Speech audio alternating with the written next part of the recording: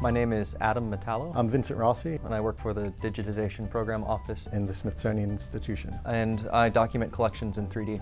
The majority of the Smithsonian's collection is 3D, so we think that it has a real future. Usually the first reason that we'd make an object available uh, in a digitized form would be for scientific research. Um, and then educational use. Beyond that, public access in general is a very exciting implication. The way laser scanning works is a laser beam bounces off an object and back into a sensor, and the time it takes to do that could be equated to a very precise measurement. So here we have um, a medium range laser scanner. So this is a, a, phase shift scanner. So we have a laser beam that comes out the side, and then the mirror that's beveled at 45 degrees spins very, very quickly. And it's capturing about a million points per second. And then the whole unit turns about 180 degrees. So we're capturing sort of a spherical 3D snapshot of your environment. So if you're 3D scanning um, an empty room, you could scan that whole room in probably five minutes at the push of a button. But if you're scanning something like the Dinosaur Hall, um, with all the occlusions and objects in your way, all the line of sight issues, you need many, many scan positions. That's usually what reality is more like. So over here to my right is uh, a laser arm scanner. So this arm scanner, the way it works is you, you almost paint the object with a laser beam.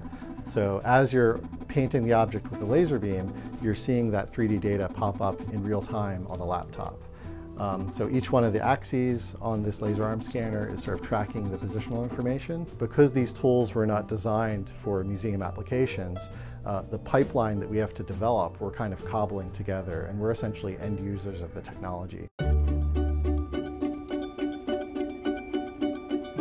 The documentation of an archaeological site is uh, an obvious use for 3D documentation and that way not only are we able to bring back fossils from a given site, but we're able to preserve the context that those fossils remained in before they're removed. So they were widening the Pan American Highway.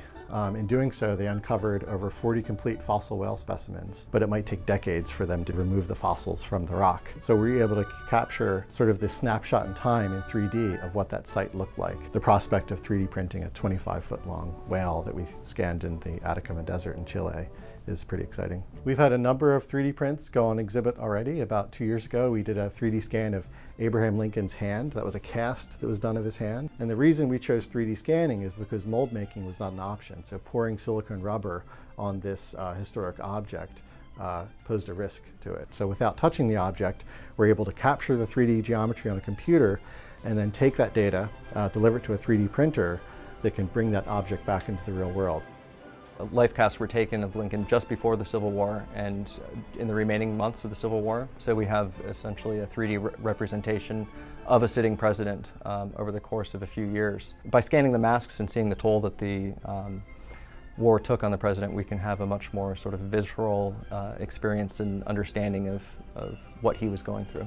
One interesting project that we were approached to take on was the digitization of a rare orchid. We've 3D scanned the 1903 Wright Flyer, so that was the first aircraft um, that was ever flown.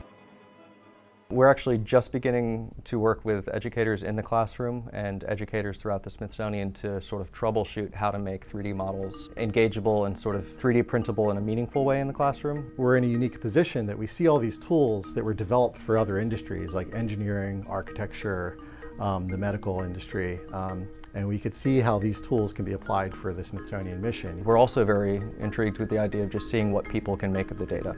Everybody knows what to do with a photograph, um, but we want to see what the world can do with uh, polygon models and uh, CT models of Smithsonian artifacts.